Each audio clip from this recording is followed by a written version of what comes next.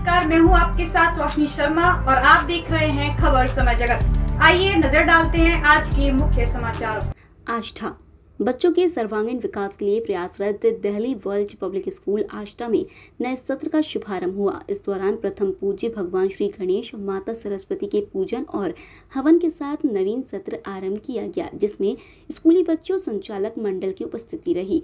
School संचालक परवेज अली ने बताया कि कोरोना महामारी के चलते पिछले दो सालों में विद्यार्थी काफ़ी पिछड़ गए हैं।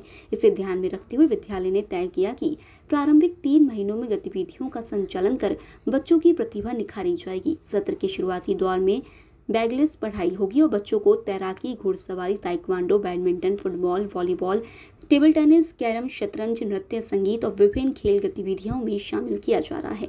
क्रियात्मकता और रचनात्मकता विकास करने के लिए बच्चों की रुचि के अनुसार social science mathematics literacy science sports general knowledge dance music और एग्रीकल्चर में शामिल किया जा रहा है।